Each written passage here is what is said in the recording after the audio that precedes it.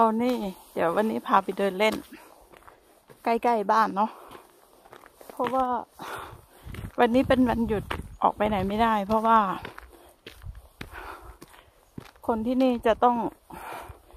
เก็บตัวอยู่แต่ในบ้านเนาะวันนี้พาไปเดินเล่นเนาะเดิน ตรงนี้จะมีคนมาเล่นสกีนะ สกีดิวาย จะมีคนมาเล่นสกีแต่ว่ายังไม่เจอเลยนะทุกคนใกล้บ้านมันใกล้บ้านมาก ดูดูดูถ้ามองไปฝั่งนู้นจะเห็นบ้านเลย บรรยากาศดีสุดๆลบสององศาเนาะ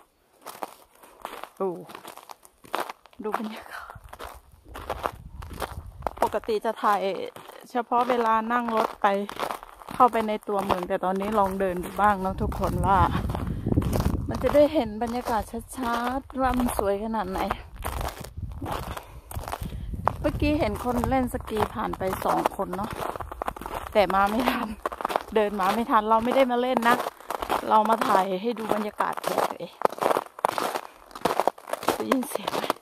ติดลบนะลบสององศาสององศาก็ยังดีอะ่ะ ช่วงนี้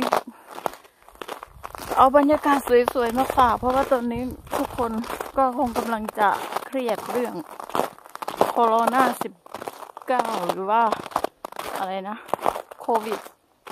สิบเก้าหรือว่าเขาเรียกอะไรก็ไม่รู้นะดูดูหมุนรอบรอบรอบบรรยากาศสวยมาก ๆ เลยไปเดินกันต่อ เผื่อโชคดีจะเจอ เจออะไร เจอคนเล่นสกีเดี๋ยวจะถ่ายให้ดูนะทุกคน ดู เนี่ยป่าซ้ายมือแบบเนี้ยบางครั้งก็จะมีพวกบลูเบอรี่เกิดนะ เกิดช่วงหน้าร้อนอะบางปีนะ ไม่ไม่ได้เป็นทุกปีอก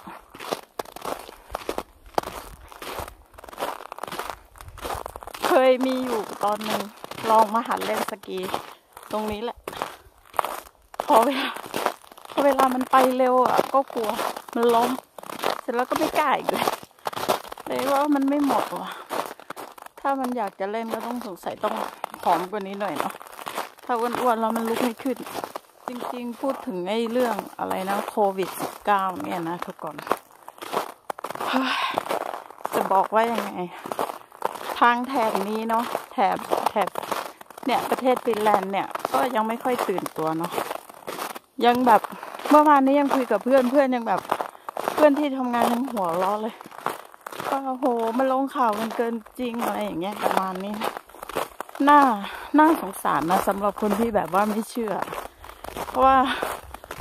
เพราะว่าถ้ามันเกิดขึ้นจริง ๆ แล้วอะก็จะตั้งตัวไม่ทันไงทุกคน ก็บรรยากาศก็จะประมาณนี้เนาะถ้าเราโชคดีเราก็จะเจอคน เล่นสกี เล่นสกีจะตามถ้าสองคนนั้นกลับมาเราก็จะได้เห็นเนาะก็เดินได้เดินออกกำลังกายด้วย บรรยากาศดี สวยๆสวยๆไปไปไปไปไปทางทางที่ โอ้โอ้โอ้โอ้มันเป็นอะไรเนี่ยอะไรเนี่ยบรรยากาศแดดออก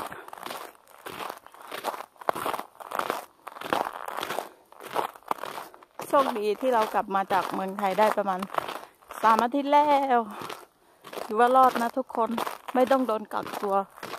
สองอาทิตย์ก็คือกลับมาถึง ที่นี่ก็คือได้ไปทำงานปกติแต่ว่าไม่รู้ว่าสถานการณ์ต่อจากนี้จะเป็นยังไงเนาะเพราะว่ามันเริ่มเข้ามาใกล้ทุกทีแล้ว แต่ในเมืองนี้ก็คือยังไม่ยังไม่มีใครติดเชื้อเนาะแต่ว่าทางใต้ทางเฮลซิงกิทางเมืองหลวงอะไรอย่างเงี้ยน่าจะมีคนติดแล้ว เยอะแล้วด้วยสำหรับ ก็ขอ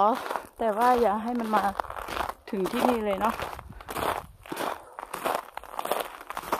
ให้ให้เขาหา หาวัคซีนอะไรมาป้องกันหรือกำจัดรักษาได้เร็วๆเนาะเอาใจช่วย